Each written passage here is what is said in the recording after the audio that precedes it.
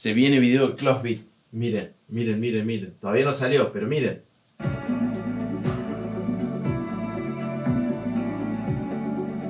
Uh, va a estar buenísimo, va a estar buenísimo. Ya va a salir pronto. Se viene mucha, mucha música nueva de Closbit, videoclip.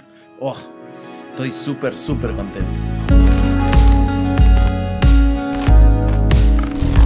Hola, Cínico Estigiano y sí, hoy vamos a estar viendo 5 verdades qué tenés que saber si tenés un home studio, si estás empezando. Vamos a desmitificar un montón de cosas que son importantes y que por ahí muchos no quieren hablar de ello. Y nada, yo estoy acá para enseñarles y para transmitirles mi conocimiento, mis 20 años de experiencia. ¿Qué les voy a mentir? No, les tengo que decir lo que realmente es y por eso se los comparto a ustedes. Porque quiero que tengan una carrera súper fructífera y prolífera, llena de música y de canciones y que perduren en el tiempo. Yo quiero eso para ustedes, así que está en mi deber comunicárselo. El primer concepto o verdad que todos los que tienen home studio o los que se están proyectando con un home studio tienen que saber es que no necesitan monitores de estudio sobre todo al principio. Estos monitores, como pueden ver acá, yo tengo unos Focal Alpha 50. Son monitores de estudio que suenan increíblemente bien, no son de súper alta gama, pero realmente son muy muy buenos. La principal razón por la cual no necesitan monitores de estudio es porque estos monitores o cualquier monitor de estudio necesitan una muy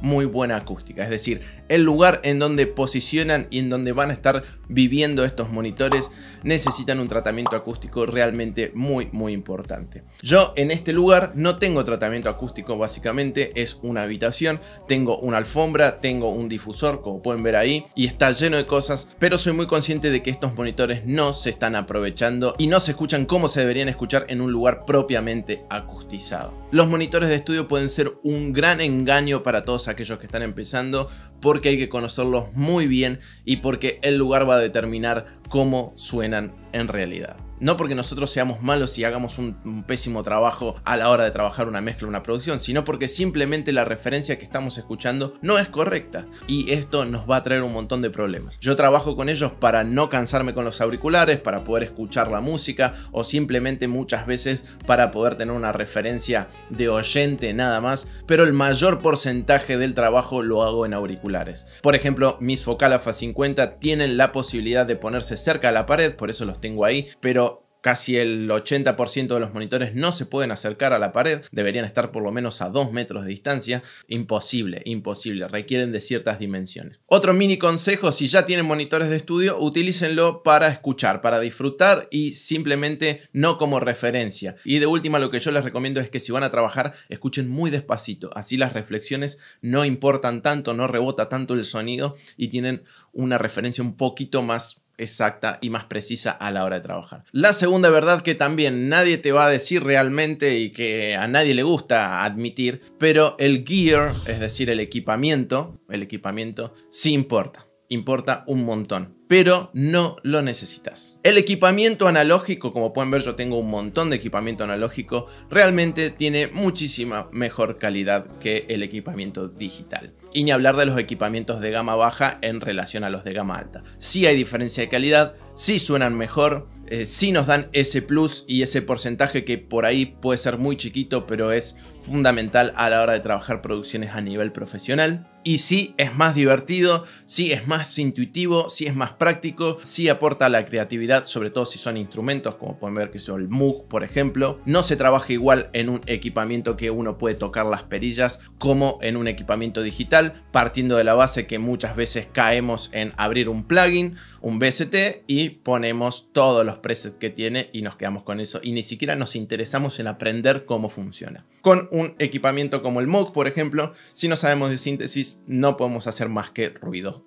es muy simple. Por otro lado, esto también se ve mucho con los plugins. Por ejemplo, yo tengo algunos prevalvulares y compresores y demás, que realmente con mis 20 años de experiencia y habiendo vivido la transición de analógico digital, les puedo decir que aún la calidad es muy superior en equipamiento analógico. Y es muy importante saber que, por ejemplo, una placa, un micrófono o monitores de gama baja no suenan igual que monitores de gama alta. Por eso cuestan lo que cuestan y porque realmente hay una diferencia y sí, es mucho mejor trabajar con ellos. Ahora, ¿lo necesitan? No lo necesitan. Se puede trabajar en el dominio digital totalmente tranquilo, se puede aprender muchísimo. Acuérdense que esto es una maratón a larguísimo plazo, entonces si están empezando, olvídense de comprar equipamiento de alta calidad, asegúrense de aprender, asegúrense de conocer, asegúrense de entrenar su capacidad de mezcla, de producción, de todo lo que necesita un productor, un dueño de home studio, alguien que se dedica a mezclar a la hora de trabajar. Es lo más importante. Obviamente mis producciones van a sonar un poquito mejor. Por ahí, sí, ese porcentaje no es wow, qué diferencia. Y si pueden con el tiempo, váyanse dando los gustos, cómprense su equipamiento, disfrútenlo y notar que hay una diferencia de calidad, notar que hay una diferencia que se puede palpar, que se puede sentir y que por alguna razón todavía siguen existiendo estos equipamientos porque sinceramente, 20 años después, sí, el gear importa, hay diferencia de calidad, hay diferencia a la hora de trabajar con ellos, suena mejor, sí suena mejor, pero les repito, no lo necesitan. No lo necesitan. ¿Quieren saber de síntesis? ¿No tienen un MOOC? Bueno, van y tienen un BST, aprendanlo a usar, aprendan síntesis digital, aprendan a hacer sus propios sonidos. Ahí está la importancia de todo esto, en la creatividad, en lo que podemos hacer con nuestra personalidad musical. Vamos a la tercera verdad que obviamente ya estuve tocando en el punto primero, que es la acústica es todo. Sí, dueños de home studio, por favor, la acústica es todo. Intenten de alguna manera trabajar la acústica, aunque sea de lo más mínimo a lo más complejo. Si pueden tener ya una alfombra en el piso porque tienen piso de mosaico o de losa o, piso reflectivo, utilicen una alfombra, ya va a sumar un montón. Luego incorporan algunos paneles en la pared. Luego pueden incorporar algún armario, algo que genere difusión o un difusor directamente. O conseguir Phonex, que es esos paneles que se ponen en la pared, pero busquen los gruesos, los que son así de anchos, los finitos esos no sirven para nada, busquen los que son anchos. Intenten ir trabajando cortinas, pongan cortinas gruesas, búsquenle la vuelta, trabajen. La acústica es todo. Por lo menos al principio intenten solucionar el problema de las reflexiones. Esos rebotes que cuando que cuando aplauden se escucha, bueno, esos rebotes hay que eliminarlos. La acústica es todo, realmente se los tengo que decir, es una verdad. La acústica es muy, muchísimo, muy importante. No siempre podemos solucionarla, no siempre podemos trabajarla, sí, es verdad, es muy complicada. Pero tenemos que tener esto en nuestra cabeza, que la acústica es todo. Yo soy consciente, sé, intento trabajarlos, intento remediarlo con los auriculares, probar las mezclas en distintos lados, siempre estoy trabajando de eso. Pero soy 100% consciente de que la acústica es increíble importante. Así que sí, el que les diga que se puede sonar en cualquier habitación, les está mintiendo. La verdad es que la acústica es todo. La siguiente verdad es una que muchos no quieren admitir y que a pesar de que yo he hecho videos también de cómo no depender de ello, es un error. Para mí es un limitante muy muy grande. Pero saber música es muy importante y es un gran limitante a la hora de producir y de mezclar. La teoría musical está muy desprestigiada, sobre todo con los géneros nuevos, que se utilizan muchísimos samples, muchísimas progresiones de acordes prefabricadas, muchísimos MIDI packs que ya vienen con las progresiones y listo, y ponemos ahí. O simplemente ya sabemos que en el género urbano, en el pop, eh, en el género este latino pop también que mezcla reggaetón y demás, toda la música que está hoy carecen de una calidad musical porque básicamente es música de influencers. Esa es otra verdad que no está acá, pero sí, el 80% de la música que escuchamos es música influencer. Y es un poco triste, pero es una realidad. Existió durante toda la vida de la música, sí, en menor medida según qué estaba de moda y qué no. Lamentablemente el hecho de no valorar o o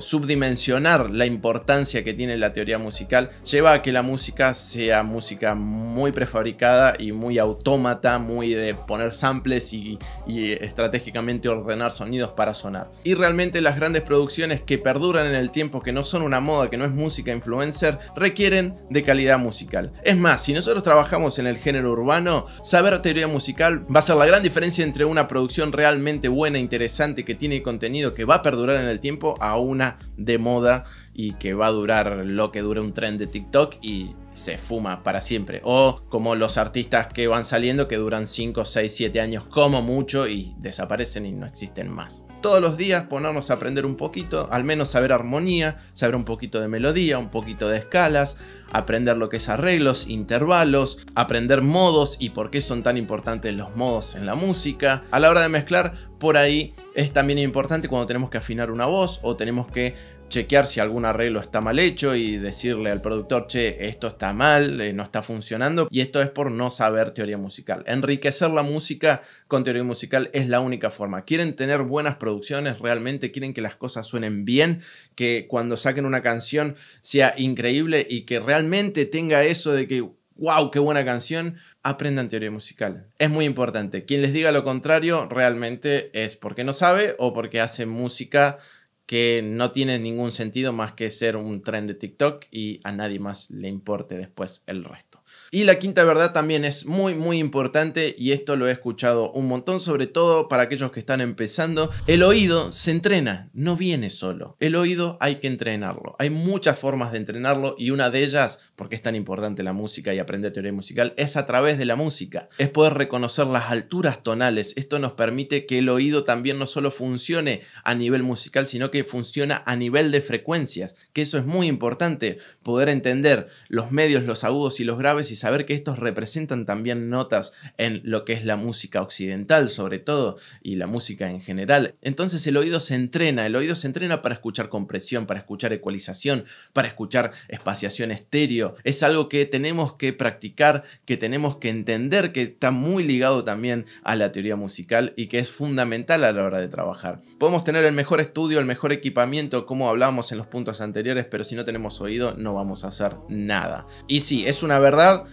algo que no van a querer escuchar. El oído se entrena y lleva tiempo, lleva años poder ir mejorándolo y es algo que tenemos que empezar a trabajar cuanto antes. No solamente en la parte musical tonal, sino que en la parte rítmica. Mucha gente que produce o que mezcla no tiene oído rítmico, no sabe seguir el tempo de una canción, no puede poner a grilla las cosas que están sonando porque no saben que hay un tempo que hay que seguir y es muy muy importante y eso es oído y eso hay que escucharlo, no podemos guiarnos solamente por la grilla porque sí, la grilla marca algo, pero ¿en qué parte de la grilla ponemos las cosas? Así que no pierdan el tiempo y trabajenla cuanto antes, estudienlo, entrenenlo, que van a ver que con el tiempo van a poder hacer lo que quieran con su oído y van a poder trabajar en ambientes como estos que no están acustizados propiamente o que no tienen el gear o no tienen eh, los equipamientos y las cosas, pero tienen su oído, que el oído es todo. ¿Por qué? Porque nos va a dar la capacidad crítica sonora, que es lo más importante que tenemos todos los que producimos, mezclamos, masterizamos y trabajamos con la música. Así que hasta acá, estas cinco verdades que nadie te va a querer contar porque nadie las quiere escuchar muchas veces